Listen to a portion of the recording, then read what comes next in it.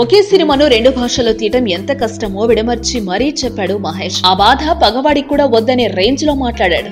జీవితంలో మరోసారి అలాంటి ప్రయత్నం చేయనని కూడా తేల్చేశాడు. నిజానికి స్పాడర్ సినిమా రిజల్ట్ తేడా కొట్టడానికి ఇలా రెండు భాషల్లో ఒకేసారి తీయటం కూడా ఓ కారణమని పరోక్షంగా చెప్పుకొచ్చాడు. కళ్ళ ముందు కొండంత ఎగ్జాంపుల్ పెట్టుకుని కూడా బన్నీ ఇప్పుడు మహేష్ దారిలోకి అడుగు పెడుతున్నాడు అవును బన్నీ కూడా తమిళలో ఎంట్రీ ఇవ్వబోతున్నాడు. వచ్చే ఏడాది మార్చి నుంచి లింగుస్వామి దర్శకత్వంలో సినిమా స్టార్ట్ చేయబోతున్నాడు. తెలుగు తమిళ భాషల్లో ఒకేసారి షూట్ చేయబోతున్నారు ఈ సినిమాని. అలా విక్రమ్ కుమార్ కంటే ముందు లింగుస్వామి సినిమాని స్టార్ట్ చేయాలని ఫిక్స్ అయ్యాడు బాన్ని. నిజానికి మహేష్ కంటే ముందే బన్నీ కోలీవుడ్ ఎంట్రీ జరగాల్సిందే.